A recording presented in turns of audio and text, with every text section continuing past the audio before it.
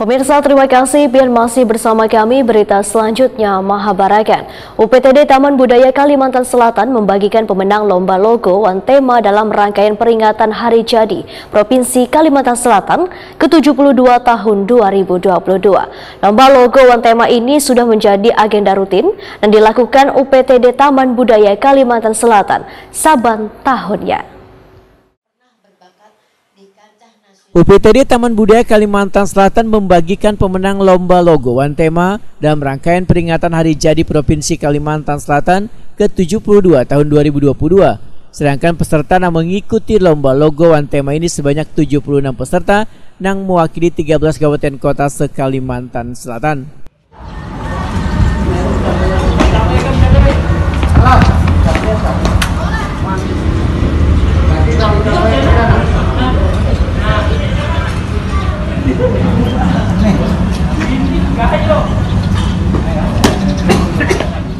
Kepala PTD Taman Budaya Kalimantan Selatan Suharyanti SSN Wetakuni Prima TV Cilang Tengah hari Selasa 16 Agustus 2022 membedakan lomba logoan tema ini sudah menjadi agenda rutin yang dilaksanakan UPTD Taman Budaya Kalimantan Selatan saban tahunnya. Menurut Suharyanti, dari puluhan logoan tema ini dipilih oleh Dewan Juri untuk menentukan nominasi tiga besar Kemudian dari tiga besar nominasi tersebut, pemenang dari logoan temanya langsung dipilih Gubernur Kalimantan Selatan Sahbiri Nur.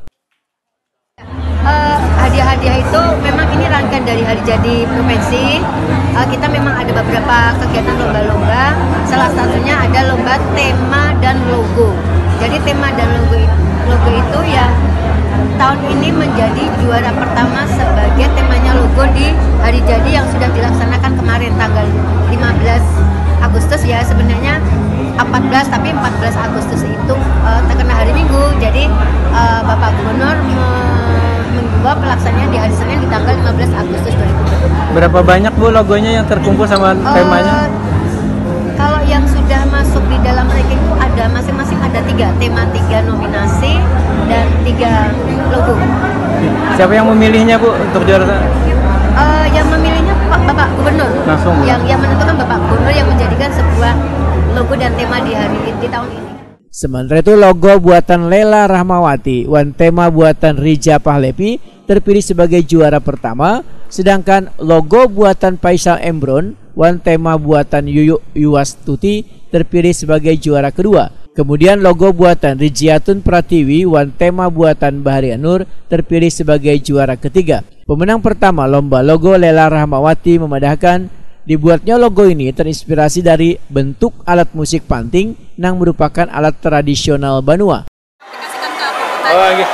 Jadi idenya dari mana Bu? Dari melihat asalnya melihat itu loh Bu? Iya musik panting. Lihat musik panting, lalu pian aplikasi. Ada foto orangnya musik panting itu ada fotonya. Oke, pian aplikasikan ke dalam coretan. Okay Nah itu berapa lawas bu biar mencari coretnya itu bu? Seminggu dua minggu. Seminggu dua minggu. Oke.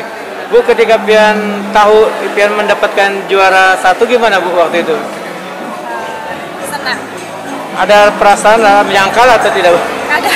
Ada menyangkal bu? Iya. Gitu ya. Waktu diberitahu oleh panitia atau gimana bu? Ini di telepon. Di telepon? Oke. Bahwa pian yang menang.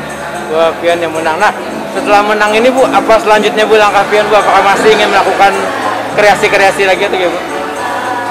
Oke, paling dia itu paling belum suka menggambar. Tetap melanjutkan menggambar bu. Oke. Bu sekali lagi bu idenya tadi dari mana bu? Dari musik panting. Oke, terus? Itu aja pak sebenarnya udah coret-coret sambil pegawian di rumah nah itu kan. Pegawian di rumah. Jadi, jadi urus anak. Oh, jadi ini kayaknya semacam ketidaksengajaan belum ikut ini bu Oh.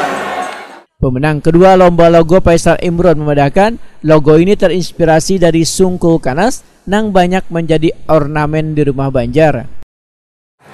Nah, jadi sungkul kanas itu salah satu ornamen yang ada di rumah Banjar menyimbolkan tulak bala, bersih dan tulak bala. Eh, maknanya apa itu?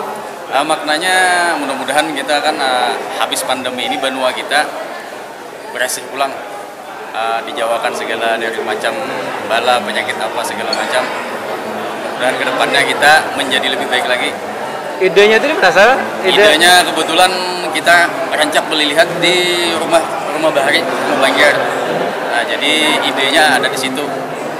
Filosofi kanas, simbol sumpul kanas. Jadi lebih kanasnya ditonjolkan lah. Iya di kanasnya ditunjukkan. Harapannya gimana Santana itu? Eh, harapannya mudah-mudahan acara Nengkaya ini nih eh, berkelanjutan supaya bubuhan pelaku seni, pelaku budaya eh, bisa berkreativitas lagi.